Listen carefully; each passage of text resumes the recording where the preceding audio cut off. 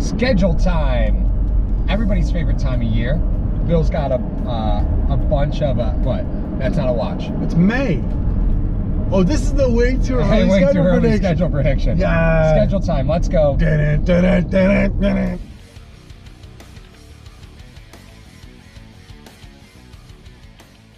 Hashtag Sports is proud to partner with Mr. Rogers Homes. Sean Rogers is a proud Western New Yorker and is now your Arizona relocation specialist. You can see his reviews as a top 1% agent on Zillow, Homes, and Trulia.com. Go ahead and download his free Arizona relocation guide found in the description of this video. Subscribe to his YouTube channel, and as Sean would say, God bless America and go Bills. Yeah, but Record prediction for the Buffalo Bills wins and losses. We will go through each team, yeah, give our two cents, and then we're going to say whether or not the Bills will win or lose that game. right. Okay. So, opening up the season, Thursday night football, season opener going against the LA Rams. Loss. Loss.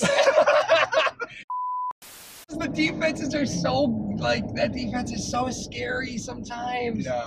I, I just. It's I, so scary. Sometimes it- it, offenses just take a take a little bit of time to get going. I want to say win. I want it to be a win, but I don't Y'all think it's gonna happen. yeah, y'all want to. You want to get because we saw at the beginning. You know what happened last year. Buffalo Bills went to the AFC Championship game the previous season, and then they just got gassed up the entire offseason how great they were, Mhm. and then Pittsburgh comes and humbles them, Right. and then they just smashed three te- three teams in the Right. You know what I mean? Yep. True, those weren't very good teams. It was Washington, Houston, and um, I can't remember. But I, the point is, Slump busters. they need. they needed that. Yeah. And it wasn't a knock. If you lose to the defending Super Bowl champions, it's not a knock. It's not, and we're just okay, they start the season 0 1 and uh, on Thursday night. And then they come back, and then the revenge tour starts. Yes, it sure does. Monday night uh, at home against the Tennessee Titans. Side note, big announcement about that. The hashtag golf tournament officially happening Sunday, September 18th, the day before the Monday night tournament or the Monday night game. That's it. So if uh, you want to join us for the hashtag charity golf tournament, the not so invitational, uh, we'll have promo for that. Um, it was a great time last year. We had a bunch of people come from the that watch the show. We, you know, Rick was there, and John Benaron showed up, and uh. Tim the Pirate showed up, and we had a great time.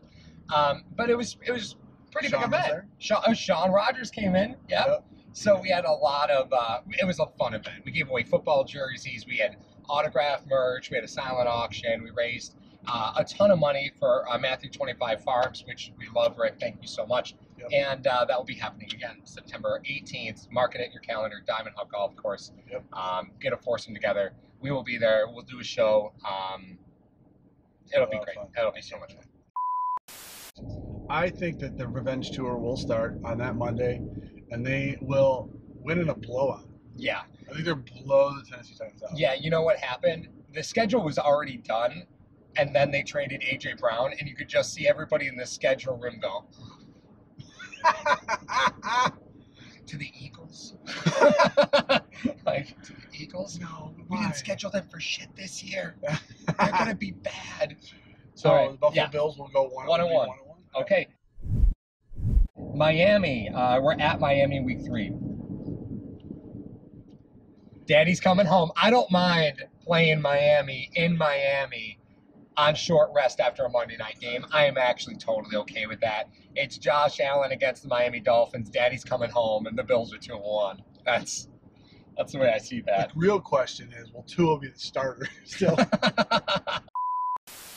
now I have to ask you a question. yeah.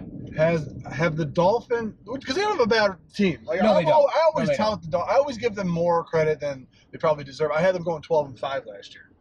I had the Dolphins going twelve and five because I didn't think Tua was gonna, have the Admittedly, at the beginning of the season looked bad. End of the season, they were on a roll. Yeah. I almost made the playoffs. Um, true. Now, what's holding them back to me is Tua. yeah, that problem's not solved. Yeah, that problem is not solved. Seriously, somebody tell him he's freaking right-handed. He's got to be. He's got to be right-handed. by You know what? If he could just kick a ball, Buffalo would sign him as a punter. All right, that's week three. Oh, you took them for a win? No, my point was this: No. Has, have the Dolphins replaced the Jets? Because you've always said for years it's the Jets. Is it the Dolphins replaced the Jets now? Because the Jets seem a lot better. The Jets A lot better. this draft. They They just the They East is. pumped it into submission. I would say, I would say, I would venture to say that what the AFC West did in free agency, Yeah. the AFC East did in the draft. Yeah. Because the Jags own free agency. Not that that's going to work out. No, right? Not no, that no, that's going to work Well, out. you have the most money. You spend the most money on toys. Yeah. Uh, you're at Baltimore. Loss.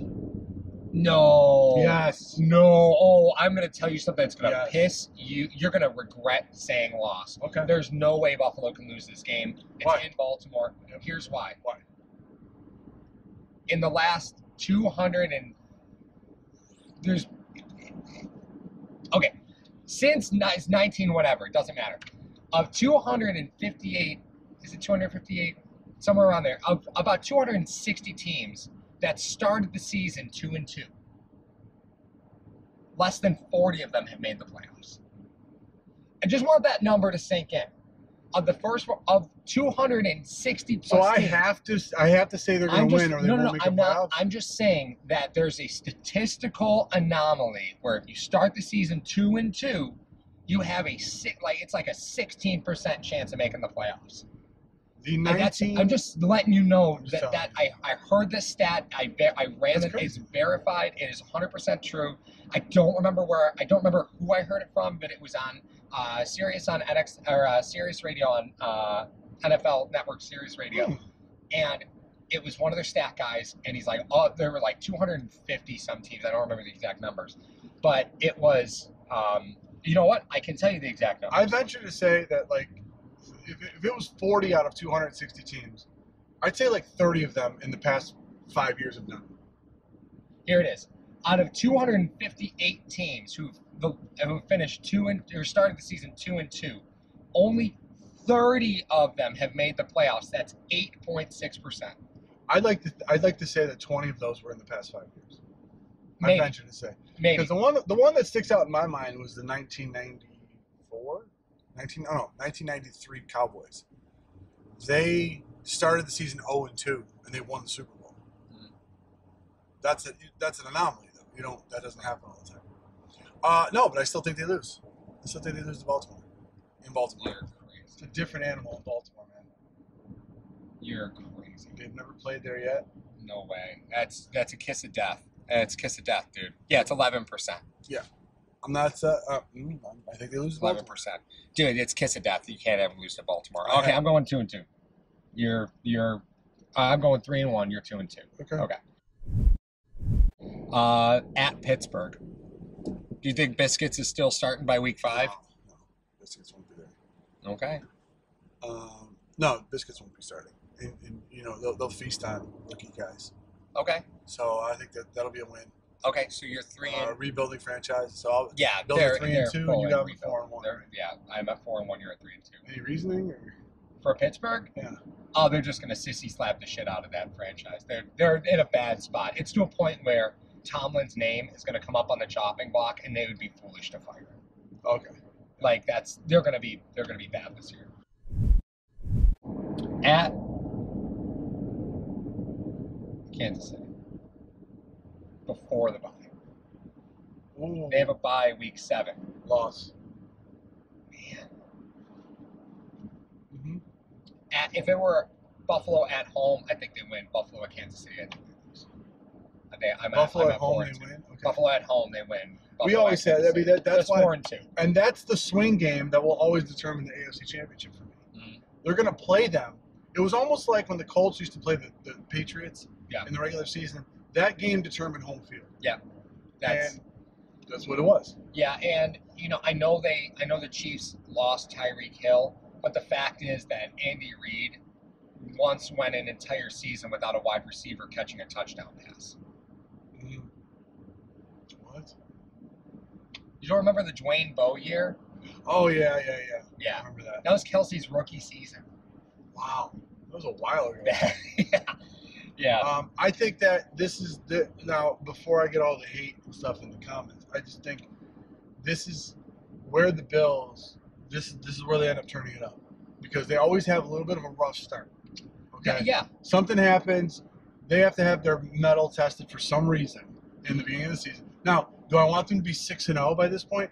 Absolutely. course. Absolutely. I just these, these feelings that I have are like, okay, they're gonna lose this team, beat this team. You're playing Baltimore in Baltimore. That place is ridiculous. They've never played there before.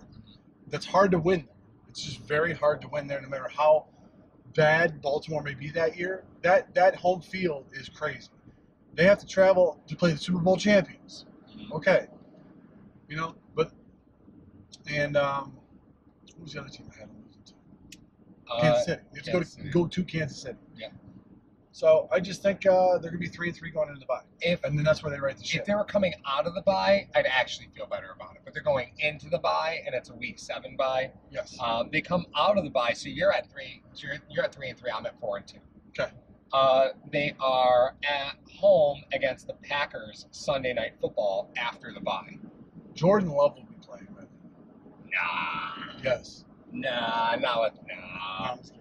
Uh, I think they win. They I think they beat the Packers I think they beat the Packers. I think it's just gonna have. I think, That's gonna be a good game, though. I think that's what you'll gonna be a see. It'll be a good game, but I think what you'll see is this: you see two superstar quarterbacks. Where, by the way, other than OJ Howard, Josh Allen is the only first round drafted player on the entire offense. Much like Aaron. much like Aaron Rodgers. Okay, but you, I think what you'll see, and people will analyze after that game, is you'll see what happens when you surround um, your quarterback with talent, and how much. What happens when you just pay one guy all the money Mhm. and not Just- anybody else? Right. Yeah. Okay, you just Right. you're going to see the difference in that game of okay, this is what you happens when you, you sign a balance your team out versus hey, we have this guy so we can win any game. Mhm. You know what I mean? So I think Yeah. they're now they're four and three for me. Okay. Yeah, and I have them at five and two. Okay. Um, I think I think Green Bay's going to come in and try and run Buffalo out. run the ball? Yeah. Because they're built for the pass. They still are. Right. But they beefed up that line. You're at New York. Uh, you're at the Jets. Sorry, let me be clear. You're at the Jets week nine. I think that's a win, but not by much. The Jets are really and a week nine Jets team is a lot more dangerous than a week two Jets. Yeah, team. the first time you play them week nine. Yeah. Jesus. I know. So that they're they're going to be tough yeah. to beat at the end of the season. Yes. But I still take them as a win here. I have them at six and two. I got I, I got like a 17 to 10 game. I think it's going to be a battle because you got two very stubborn defensive head coaches. They're going to be. Right, but at that point, Zach Wilson may have lost the will to live. With those weapons? Come on now. Did you see that line Yeah. they have? That offensive line? Jesus. All right, week 10, you are at home against the Vikings. Now, mind you, you're at the Jets, and then you have two games at home. So you're, uh, the Vikings is week 10. Uh, I believe that that will be a win. I have them losing to the Vikings. I don't have them lose to the Vikings because the Vikings will see what the Packers tried to do with running the ball, Mhm. And they will see that that doesn't work. And they'll they'll they'll shoot themselves in the foot not running quick enough. See, you know what? I see that differently because Dalvin's going to be playing against his little brother. And I think Dalvin's going to shot. Diggs is playing against his former team. Like Yeah. I'm just saying that. I'm just saying. One touches the ball 30 times a game. yeah, I think I because here's the misnomer, right? Kirk Cousins put up Aaron Rodgers numbers last year, and everybody was talking about Rodgers as the MVP, and nobody paid attention to Cousins because it's Kirk Cousins. because he went nine and eight. Right. That's but Cousins put up put up Rodgers numbers like they were the same. So I, I have him actually losing to the Vikings. And again. I'd rather punt the NFC game, right? Like if I've got to punt one, Yeah. I'll punt the you NFC punting game. two so far? Yeah. So you're six and three, I am six and and I'm six and three. Yep, we're back to even.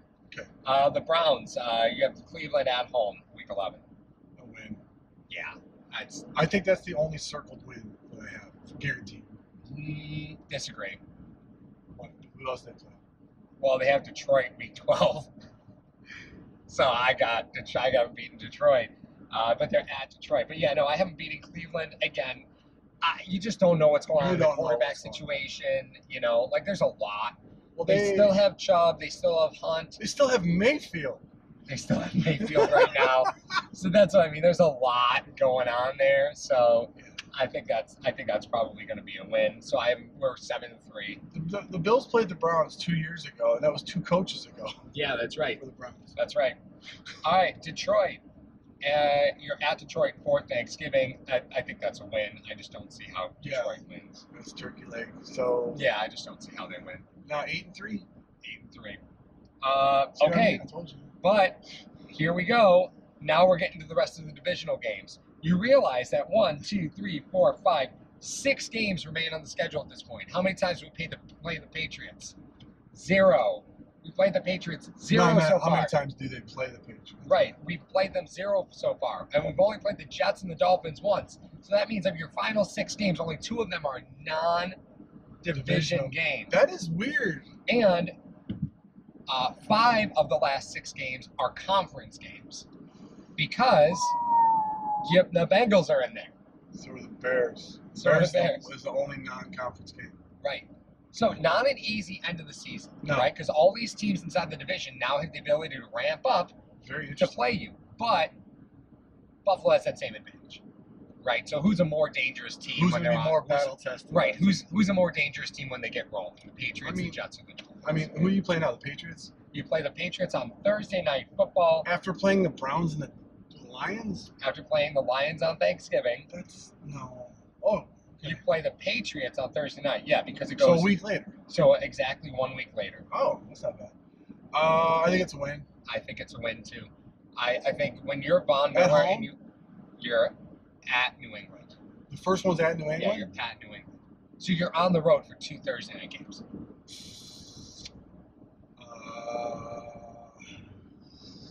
lost. No, Eight no way. four. No way. Eight and Nine and three. Nope. Eight Nine and three. I can't even debate you on this because it's such a stupid. That's so stupid to say they're going to lose to the Patriots at Foxborough.